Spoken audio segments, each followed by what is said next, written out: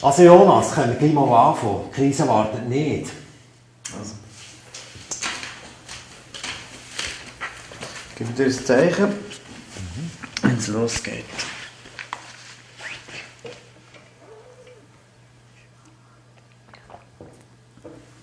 Okay. Das ist ein Video über die Ungeheuerlichkeit auf unserem Geldsystem. Es dauert etwa 15 Minuten. Denen, wo das zu lang ist, für die gibt es jetzt eine kleine Zusammenfassung und die geht so. Artikel 99 der Bundesverfassung sagt, nur der Bund darf Münzen und Banknoten rausgeben. Er hat das Geldmonopol.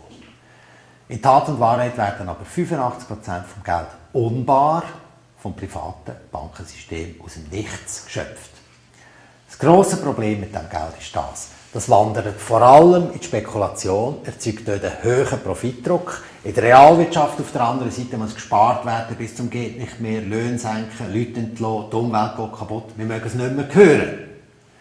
Ich finde, das muss man ändern. Man muss die Verfassungsmäßigkeit vom Geld aufs politische Parkett bringen. Darum kandidiere ich, wähle Christoph Pfluger, Liste 18, parteifrei.ch im Kanton Solothurn.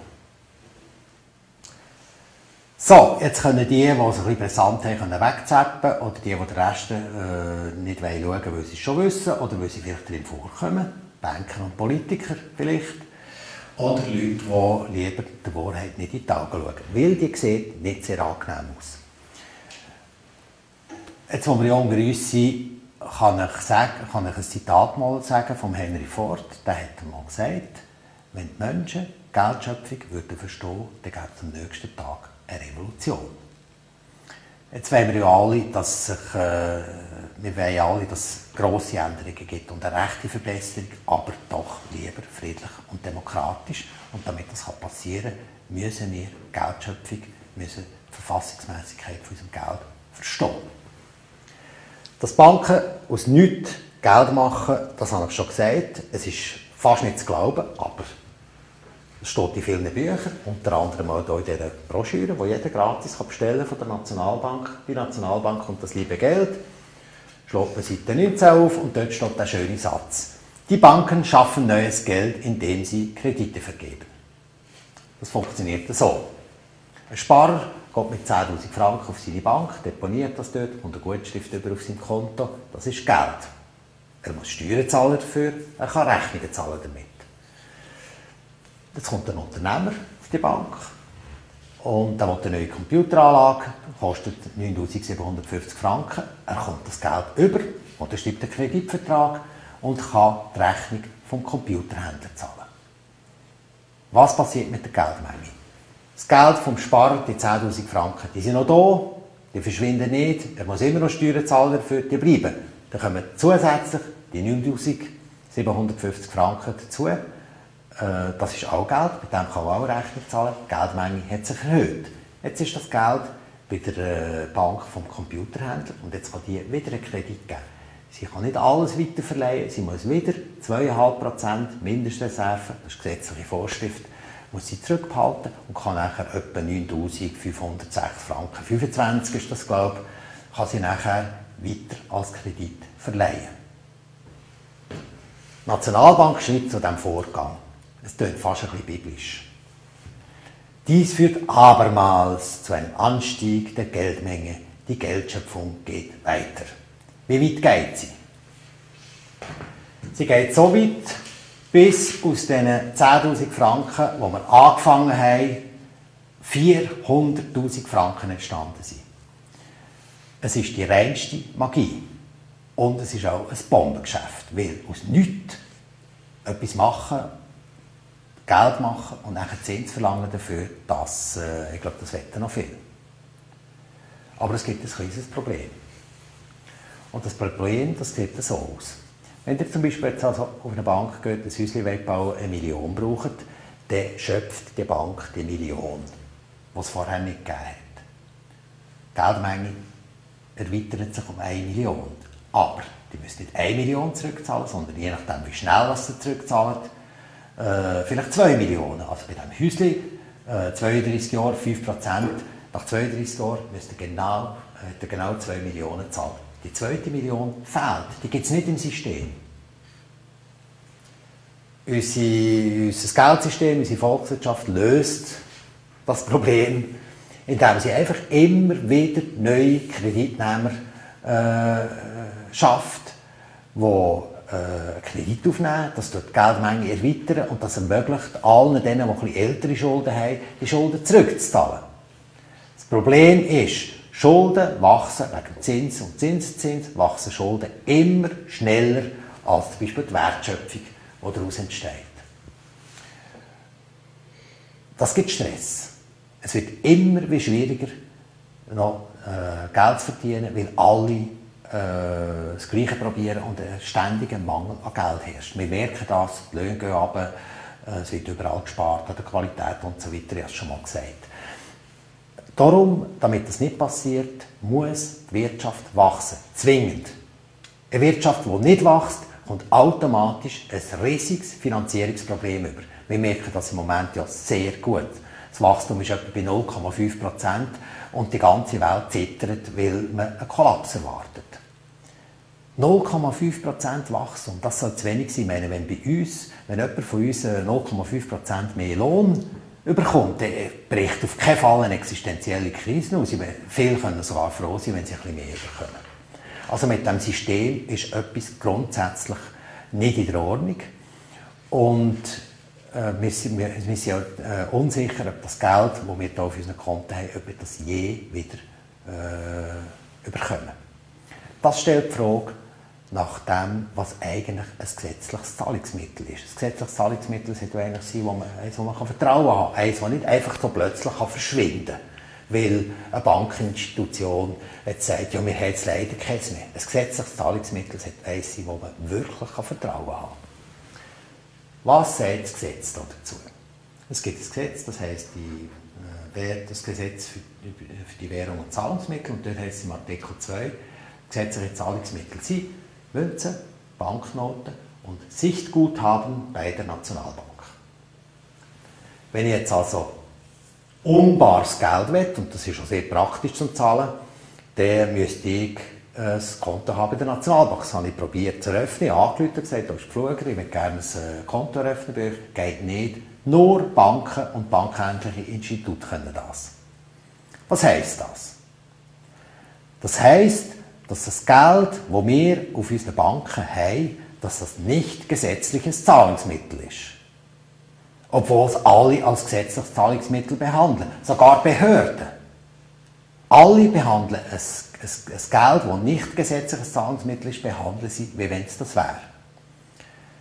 Wenn wir genau schauen, findet man natürlich schon äh, an der richtigen Stelle findet man eine Erklärung oder eine Beschreibung von dem äh, unerhörten Zustand. Der Bundesrat hat 1999 in der Botschaft zu dem Gesetz nämlich geschrieben, Guthaben bei einer Groß-, Kantonal- oder Regionalbank oder gar einer Kreditkartenorganisation sind etwas genuin anderes als Guthaben bei der Schweizerischen Nationalbank, die als einzige Institution im Lande gestützt auf öffentlich-rechtliche Normen autonom Geld schöpfen kann.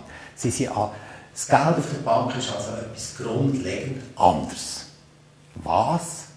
Das sagt der Gesetzgeber nicht. Jetzt wissen wir ja, dass Banken äh, Schwierigkeiten bekommen. Jeden Tag stehen ungeheuerliche Sachen in der Zeitung. Man getraut sich fast nicht Nachrichten zu hören oder zu schauen. Das Hauptproblem sind im Moment beim Euro. Und zwar nicht, weil die Griechen zu wenig sparen, sondern weil die Staatspapiere von Griechenland, von Portugal und von vielen anderen Ländern abgestuft werden. Und das gibt Bilanzprobleme bei den Banken. Die müssen jetzt schauen, und zwar sind die, die europäischen Banken, die müssen jetzt schauen, und auch die Hedgefonds, dass sie die äh, Euros, die sie haben, möglichst schnell loswerden. Weil wenn die noch mehr Wert verlieren, dann geht es den Banken noch schlechter. Also suchen sie nach einer, nach einer äh, guten Alternative. Der Schweizer Franken ist eine von denen. Die also in der letzten Zeit äh, in Massen haben die Schweizer Franken gekauft und durch das ist der Preis des Schweizer Franken gestiegen. Bis auf eine Höhe, wir wissen es, wo die Exportwirtschaft Schwierigkeiten bekommen hat und die Nationalbank hat müssen handeln. Was hat sie gemacht? Sie hat öffentlich erklärt, sie würde unbeschränkt Devisen kaufen. In den Worten vom Nationalbankchef Philipp Hildebrand tönt das so. Sie ist bereit, unbeschränkt Devisen zu kaufen. Und weil das für die Schweizer Geschichte, für die Schweizer Geschichte so ein historischer Moment ist und so ein historisch wichtiger Satz, den wir uns da gerade noch einmal anhören. Sie ist bereit, unbeschränkt Devisen zu kaufen. Das heisst, die Nationalbank kauft unbeschränkt und zum Fixpreis von einem Franken 20, äh, von einem Franken 20 kauft sie die Euros, die niemand mehr will, an. Das ist etwas das Gleiche, wenn wir beim Lidi und beim Aldl gehen kaufen, was einfach um ist und wenn es leere Verpackungen sind und einen Fixpreis dafür zahlen. Es ist eine Ungeheuerlichkeit. Das Risiko bei dem ist enorm. Man kennt es zwar nicht genau, das muss man sagen, die Nationalbank veröffentlicht keine Zahlen, wir wissen es nicht, aber im Juli und im August hat die Nationalbank die Nationalbankgeldmenge um fast 200 Milliarden erhöht. Es hat nichts genützt. Sie muss also jetzt mit äh, schärferem Geschütz auffahren und kauft unbeschränkt Devisen. Was passiert bei diesem Vorgang? Es gehen also Hunderte von Milliarden Schweizer Franken gehen zu irgendwelchen Privatbanken, Hedgefonds. Wir kommen dafür Euros über. Die sinken höchstwahrscheinlich im Wert. Jetzt gibt es drei äh, Möglichkeiten. Entweder die Hedgefonds die mit den vielen Schweizer Franken, die sie jetzt haben, äh, Schweizer Firmen aufkaufen. Swisscom, was um ist, unser Tafelsilber. Zweite Variante. Die Erhöhung von der Geldmenge ums, äh, es ist etwa eine Verdreifachung. Wir haben jetzt plus minus 250 Milliarden. Es werden, äh, es könnten gut und gern 750 Milliarden sein oder noch mehr. Die unerhörte Ausweitung von der Geldmenge führt zu einer Inflation. Das muss man wissen. Bei der Inflation da profitieren immer die, die das Geld zuerst bekommen. Die profitieren, die können zu den alten Preisen einkaufen. Das sind in diesem Fall Banken. Bis das Geld nachher aber ist an die Basis, dort wo wir arbeiten und mit Arbeit unser Geld verdienen, bis das, dann, bis das Geld unten ist, die Preise längstens davon galoppieren. Das ist eine riesige Umverteilung. Dritte Möglichkeit, die Hedgefonds merken, oh, es gibt so viele Schweizer Franken, eventuell ist der Wert auch doch nicht so hoch, wie wir meinen, und fangen an verkaufen. In diesem Moment müsste die Nationalbank mit den Euros, die mittlerweile wertloser geworden sind, müsste die ganze riesige Menge von Schweizer Franken, die sie vorher rausgegeben hat, wieder zurückkaufen. Kann sie nicht. Was passiert? Der Kurs des Schweizer Franken saust in den Keller. Alle drei Varianten eigentlich ein Horrorszenario. Der Umfang von dem ganzen, von dem ganzen Risiko der kann ohne weiteres 500 Milliarden äh, Schweizer Franken betragen. Das ist ein ganzes Bruttosozialprodukt. Auf Deutsch heisst das, ein Jahr lang gratis arbeiten für die Hedgefonds. Und kein Politiker, das Parlament hat sich dazu nicht äußern es hat keine demokratische Diskussion über diesen unerhörten Vorgang stattgefunden. Wer kann das wählen? Offenbar der Philipp Hillebrand.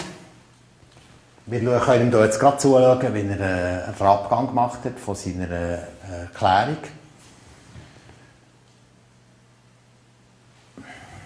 Mir denkt es, er stülpert fast Stegen auf und es sieht so aus, wie wenn er eigentlich nie mehr käme oder vielleicht noch schnell kommt, kann, äh, definitiv sagen, ich bin jetzt gegangen. Wir können uns nicht einfach so verabschieden. Wir stehen in der Schlange vor der Bank und warten darauf, dass wir an die Reihe kommen und vielleicht auch noch etwas überkommen von unserem Guthaben. Aber Mindestreserve sind 2,5 Prozent. Wenn 100 Leute vor der Bank anstehen, dann kommen genau 2,5 Prozent zu ihrem Geld. Die anderen ziehen am Griff. Ich finde das eine rechtlich unerhörte Situation. Wir müssen unbedingt über dieses Geldsystem reden. Wir müssen über die Verfassungsmäßigkeit von unserem Geld reden. Das muss passieren. Darum kandidiere ich, darum wollte ich Nationalrat, darum wählen Christoph Pfluger, Liste 18, parteifrei.ch, Solothurn. Wer nicht im Kanton Solothurn wohnt, läutet Solothurn an und sagt, wir haben eine ganz gute Wahlempfehlung. Äh, mehr Informationen gibt es hier auf dieser Webseite. Täglich frisch, täglich ziemlich harte Fakten über, unsere, über unser Geldsystem. Ich danke, dass ihr die Viertelstunde zugeschaut und zugelassen habt und ich danke, dass ihr die Botschaft weitertragen. Merci vielmals. Tschüss zusammen.